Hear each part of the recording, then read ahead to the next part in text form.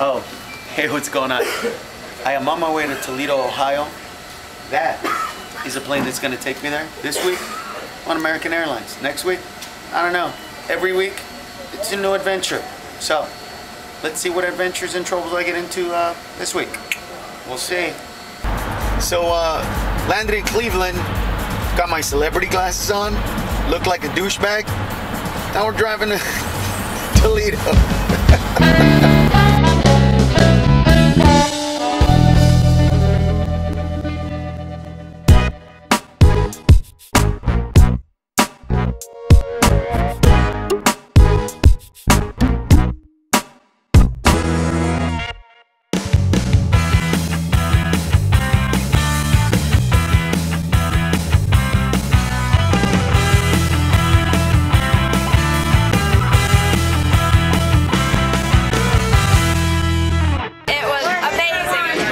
Excellent.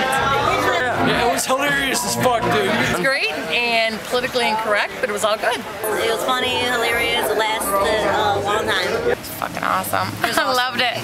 Carlos Toledo loves you. What is there to do here in Toledo? If, if you if we had to come here, what would you say is the thing we have to go do? Tony Packo's. Tony Packo's? Yep. Tony Packo's, Jamie Farr. All right, so I was told that here in Toledo, I got to go to a place called Tony Packo's, which I was like, really, you're gonna send me to a Mexican restaurant? Not that at all. My judgment was way off. It is actually a Hungarian place where they have these amazing hot dogs, from what I hear, made popular by uh, one of the actors back in the days in MASH. So let's see what it's all about.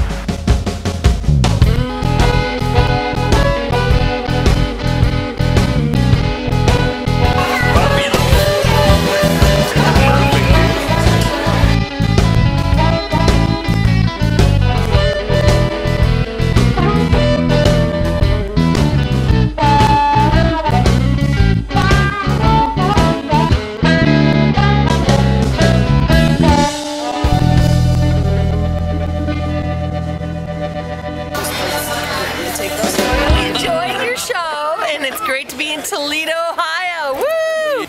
He tells he tells us about things that we're not informed on. You know, and he and he them. You know, You know, where there are a lot of troubles in the world, and and we do take it serious. But but he puts a spin on it for us. I think he's brought more comedy to Toledo than ever.